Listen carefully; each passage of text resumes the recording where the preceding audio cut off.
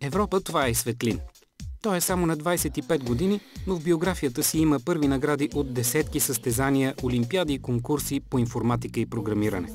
През 2003 година Светлин Наков беше номиниран заедно със своя брат Преслав за новоочредената награда Джона Танасов за постижения в информационните технологии. Тогава, през 2003 спечели по-големият брат, който вече учи в Бъркли, Калифорния. През 2004 година президентът Георги Първанов връчи наградата и на Светлин, който продължава да живее в студентския град, в София, България. Любимата ми награда е наградата на президента Джон Танасов. Ето я, много тежи, понеже мисля, че е от бронз цялата. И много се радвам за нея. Успеха със сигурност дойде с малко шанс, разбира се, но аз много работя. Имам цялото сте грамоти, най-разнообразни, даже не ги знам какви са. Може ли човек да запомни толкова много неща? Трябва да се гледа бъдещето, а не миналото, защото в крайна сметка не може да, става, да стоиш само на стари така хубави неща, които си правил на времето. Трябва постоянно да правиш, да се развиваш. Другата голяма страст на Светлин са планините и пещерите.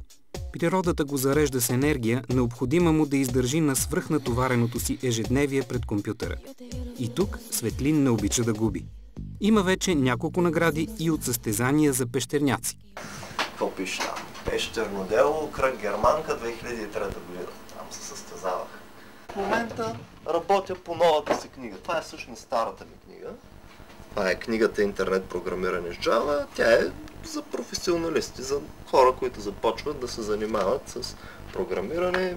Така написах я миналата година, понеже имах доста статии, реших така да ги събера, да ги систематизирам.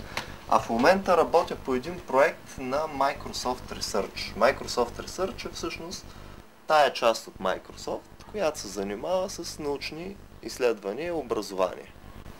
А, очакваш ли нещо да се случи различно в страната и за тебе специално, за тебе лично, когато влезнем в Европа? Но специално за нас, хората, които се занимаваме с софтуер, определено ще е по-добре, защото заплатите ще се качват, фирмите ще стават по-сериозни, по-големи и въобще има, има хляб в тая работа. Младите хора, за да се реализират, трябва първото нещо да са много работливи, второто нещо да попаднат в правилната среда, ако не са попаднали да си я търсят.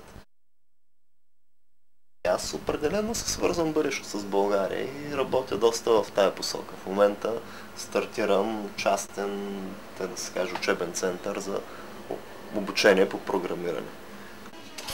1,70.